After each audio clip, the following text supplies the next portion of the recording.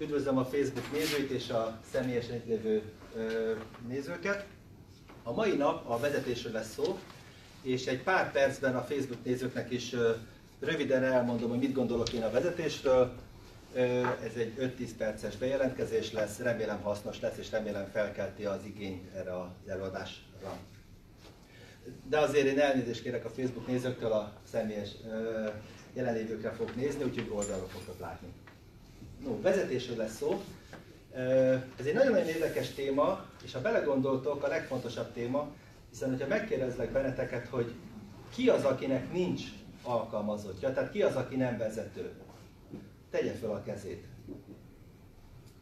Egy, kettő, három, négy. Tehát négyen vagytok olyanok, akinek nincs, aki nem vezető, mert nincs beosztottja, de én azt gondolom, hogy ez is el fog előbb múlni. Tehát rendkívül, rendkívül fontos az, hogy megnézzük, hogy milyen a jó vezető. És én egy példát szeretnék hozni, én szeretem a számokat, egy példát szeretnék hozni, hogy hogy is működik, mi az, hogy vezetés. Jó, úgyhogy írok bár ismert feladatokat, hogy ezt mindenki tudja, hogyha egy kőműves 100 téglát rak föl egy nap alatt, akkor három kőműves 300 téglát rak föl, ezzel eddig nem bonyolult a történet. Mi van akkor, hogyha ez a három kőműves nem egyénileg rakja a téglát, hanem csapatban dolgozik, akkor szinte tudjuk mondani, hogy hatékonyabb lesz, mert egymást kisegítik, egymás helyett dolgoznak, kieső feladatokat meg tudnak szüntetni. De azt is látjuk, hogy három könyvesnél működik, de 5-6-7-8 könyvesnél már azt látjuk, hogy ha 10 könyves dolgozik, akkor lehet, hogy az nem 10 lesz, hanem 9. Erre egymást akadályozzák, lógnak, és a többi, és a többi. Ezért minden csapat élére,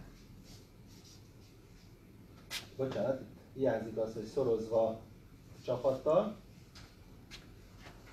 szorozva a csapattal, szorozva egy V betűvel, ami vezető, ez 9 ha ezt a három kőműves nem csak csapatban dolgozik, hanem egy vezető irányítás alatt, akkor még hatékonyabb a történet. És nekünk az a dolgunk, hogy a cégünk a lehető leghatékonyabb legyen, ezért rendkívül fontos, hogy mi jó vezetők legyünk. Ugyanis, bár ez matematikában nem igaz, ez nem biztos, hogy mindig 9. Ez extrém esetben lehet kettő. Láttam ilyet. Tehát láttam olyat, hogy három ember dolgozott, elért egy eredményt, rátettek egy vezetőt, és kevesebb lett az eredmény. Lehet az, hogy ez marad három, amikor a vezető semmit nem csinál. Ilyet is láttunk. Lehet a kilenc. Én már láttam olyat, hogy valaki 20 hozott ki három emberből. Tehát rendkívül fontos, hogy bár a matematikában ilyen nincs, de az életben van, hogy a vezető szerepe, a vezető működésének, tevékenységnek megfelelően a végeredmény változik. És nekünk rendkívül fontos, hogy ez a szám minél nagyobb legyen. Ezt ugye nem kell magyaráznom. Meg szokták kérdezni, hogy milyen a jó vezetői stílus. Erről nagyon sokat beszélnek, és vitatkoznak is az emberek, hogy a, a diktátor típus vezető, a demokrata típus, rengeteg ilyen van, és az emberek vitatkoznak, hogy melyik a jó vezetői típus, de ennek igazából semmi értelme ennek a vitának, mert nem lehet eldönteni, hogy melyik a jó vezetői stílus. Ugyanis azt kell mondani, a jó vezetői stílus, ha ez a szám a legmagasabb.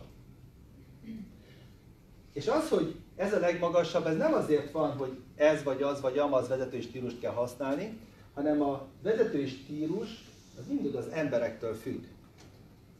Tehát attól függ, hogy milyen csapatod van, attól függően kell vezetői stílust alkalmazni. Tehát mikor valaki azt mondja, hogy én ilyen vezetői stílusban, vezet, én demokratikus vezetői stílus vagyok, az zsákutcában van, mert a demokratikus vezetői stílus az egy bizonyos csapatra működik. De egy másik csapatra már bukást okoz. És ugy, ugyanez, aki azt mondja, hogy ő a lesz szépen vezetői stílust alkalmazza, és ezzel sikeres, ez nem lehet igaz, csak azokra az emberekre, akik éppen vezet.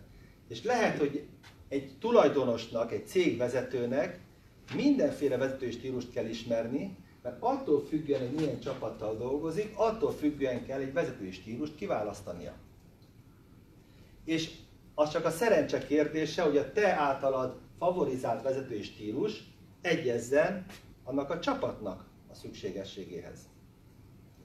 Tehát nagyon-nagyon fontos, hogy nem az a lényeg, hogy melyik számodra a szimpatikus vezetői stílus, hanem az a lényeg, hogy milyen eredményt érsz el a csapatoddal. És ha szükséges, akkor el kell dobnod a kedvező vezetői stílust, és egy olyan vezetői stílust kell fölvenni, ami számodra esetleg nem szimpatikus, de ahhoz a csapathoz az való. Úgyhogy én elmondom, hogy én mit gondolok a vezetésről a Gladiátor filmen keresztül, de itt már igazából kikapcsoljuk a, a Facebook nézőit, hogy köszönöm szépen, hogy itt voltatok, remélem felkeltettem az érdeklődést, és remélem, hogy februárban eljöttök az előadásra. Viszlát, szervusztok!